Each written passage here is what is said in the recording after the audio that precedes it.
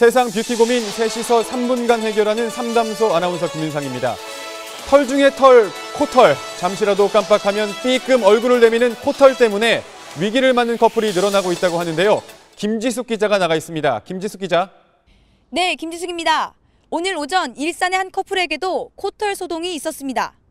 강 씨는 연인과 데이트 도중 갑자기 상대의 코에서 다른 개체가 나를 향해 인사했다며 당시 상황을 회상했습니다.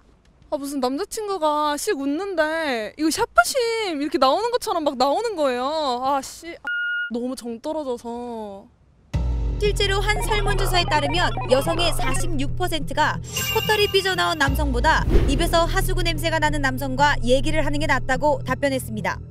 유독 남성에게 많이 발생하는 현상이어서 연인 간의 멘붕의 격차가 좀처럼 쉽게 좁혀지지 않을 것으로 예상됩니다. 지금까지 코털 없는 기자 흠, 흠, 김지숙이었습니다. 흠, 하. 네, 정말 코털이 안 보이는군요. 왜 저희만 이런 걸까요? 코털 전문가 황민영 기자님 화상으로 연결해서 알아보겠습니다. 황민영 기자님, 네, 안녕하세요. 홍민영입니다. 이 코털 왜 나는 거죠? 네, 코털은 남성 호르몬의 영향을 받는데요. 그러니까 턱수염하고 같은 위치입니다. 남자들만 깎아야 되는 거죠. 그럼 나는 거는 그렇다 치고 어, 제 하반신처럼 왁싱을 하면 어떨까요?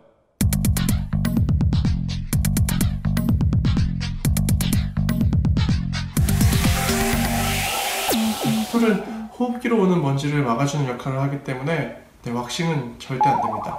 대신 주 1회 또는 뭐 특별한 날 전날 휴대전화의 후레쉬로 코 속을 이렇게 확인해주면 네, 깎아야 될 부분이 보이실 거예요. 그래서 그 코털을 네, 제거해 주시면 좋습니다. 쪽가위라든지 아니면 뭐 코털 정리 기계를 활용하시면 되는데요. 쪼렙 같은 경우에는 가위를 사용했다가 이제 코 쪽에 피가 나는 경우 있으니까 네, 저는 기계를 추천드립니다. 아, 기자님이 스투 밑에 네. 반바지를 네, 황민영 기자님 감사합니다. 그러면 쪼렙인 보통 남성들을 위해 화제의 코털 면도기 사용법 알아보겠습니다. 김윤상 리포터가 직접 시연해봤다고요? 네, 제모의 아이콘 김윤상입니다. 코털을 손쉽게 제거할 수 있다는 코털 면도기 제가 한번 도전해 보겠습니다. 첫 번째 기계를 켜고 조심스럽게 코로 진입합니다. 오, 두 번째 정성스럽게 깎아줍니다. 오, 오, 오, 오, 오. 이제 조심스럽게 코털을 깎았습니다. 그리고 마지막 가장 중요한 작업입니다. 좌, 흥, 우, 흥. 코 속에 남아있는 잔여 털들을 흥과 함께 뿜어줍니다. 흥, 흥. 네, 코털 전국 정상화를 위해서 휴대폰 후레쉬 켜고 드르륵, 흥, 흥 하셔야겠습니다. 이상 SBS 아나운서 김민상이었습니다. 고맙습니다.